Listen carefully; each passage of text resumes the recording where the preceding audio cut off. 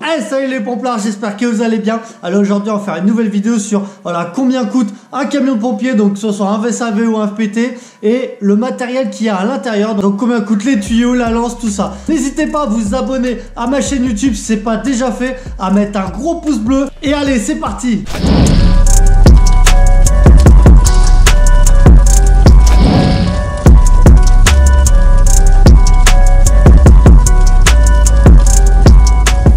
envie de faire cette petite vidéo parce que voilà même moi qui suis pompier je me rends pas bien compte euh, du prix que j'ai entre les doigts. Euh, voilà quand je conduis une ambulance euh, des tuyaux et tout ça donc je me suis dit putain ça serait intéressant que je me, me penche un peu là-dessus. Et après j'ai fouillé un peu sur internet. Donc là j'ai un ordre de prix. Donc là je vais vous parler des véhicules. Donc les véhicules je parle le prix sans le matériel à l'intérieur. Parce que le matériel ça c'est en plus. Donc on va commencer par le VSAV pourquoi le VSAV parce que déjà c'est celui qui décale le plus euh, donc forcément, il suce plus vite. J'ai une tranche entre 55 000 euros et 80 000 euros. Voilà, la différence c'est par rapport à la marque par rapport à la puissance du véhicule, tout ça, bah, c'est comme quand on achète une voiture. Forcément, euh, une Smart, ça va pas être le même prix qu'une BM. Voilà pourquoi il y a une différence entre la tranche du bas et la tranche du haut. Mais voilà, faut se dire que c'est entre 55 000 et 80 000 euros le VSAV. Donc comme j'ai dit, sans matériel à l'intérieur.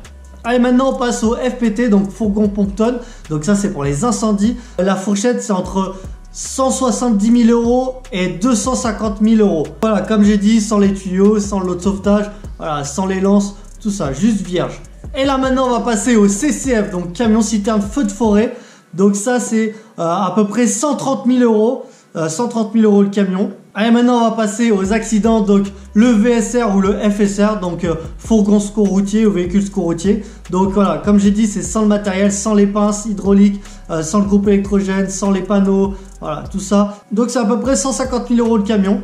Allez, maintenant, on va parler des EPA. Donc, le coût, c'est la tranche, c'est entre 400 000 euros et 600 000 euros. Donc franchement, c'est énorme. Il y a beaucoup d'électronique, donc voilà pourquoi c'est cher. Et la tranche, elle dépend voilà, de la marque de l'échelle, de la hauteur de l'échelle. Enfin voilà, vraiment de tout ça. Et maintenant, on va parler du véhicule le plus cher, c'est le BEA. Euh, donc là, c'est à peu près entre 600 et 700 000 euros. Euh, donc là, c'est vraiment cher. Donc c'est pour ça qu'il faut faire attention. Voilà, il y a beaucoup d'électronique quand on conduit, quand on se gare, voilà, toujours du guidage parce que forcément, quand on voit le prix du véhicule, eh ben, ça fait mal au cul dès qu'il y a un petit accident. Allez, maintenant on a fini avec les véhicules. Maintenant, on va parler un peu des tuyaux et des lances, des lances d'incendie. Donc, franchement, quand j'ai fait mes petites recherches, ben, j'étais impressionné du prix des tuyaux. Je pensais pas que ça coûtait aussi cher. Donc, un tuyau de 45-20 mètres, c'est à peu près 250 euros le tuyau. Donc euh, c'est cher. Euh, après le tuyau de 70-20 c'est 350 euros. Et le tuyau de 110-20, là c'est énorme, c'est 710 euros euh, le tuyau. Donc voilà, vous vous rendez compte que dans des fourgons et tout ça, on a des dizaines et des dizaines de tuyaux. Donc franchement c'est énorme. Imaginez quand on additionne tout ça, franchement c'est ouf. Et après pour les lances, j'ai regardé un peu sur internet, mais là j'avais un peu moins de renseignements. C'est à peu près voilà une lance classique, c'est à peu près 500 euros je dirais. 500 euros une lance de 45. Après, j'ai pas eu les infos pour les autres lances, mais ce qui est sûr, c'est que ça doit doubler.